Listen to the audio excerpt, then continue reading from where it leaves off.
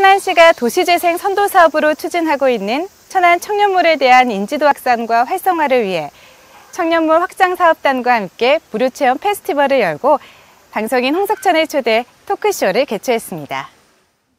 이번 페스티벌은 천안시의 도시재생 지역 내 청년 상인의 창업과 육성, 주변 상권 활성화를 도모하고자 기획됐습니다. 이번 행사는 천안역 앞 청년몰 흥흥발전소에 입주한 청년 상인 매장에서 체험을 원하는 시민들을 대상으로 무료로 다양한 체험을 제공하여 시민들의 발길을 끌었는데요.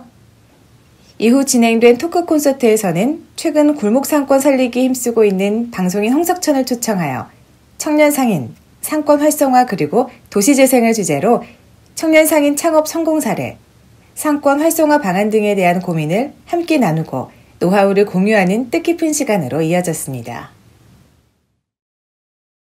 천안시는 이번 행사가 천안 상권 르네상스 프로젝트와 원도심 도시재생 성공을 위한 단초가 되고 청년 창업 상인 육성에 기여할 것이라며 흥행발전소 창업 성공을 위해 다양한 서비스 제공으로 많은 젊은 층이 유입하여 주변 상권과 도시재생 활성화가 될 수 있도록 전 행정력을 지원해 나가겠다고 밝혔습니다.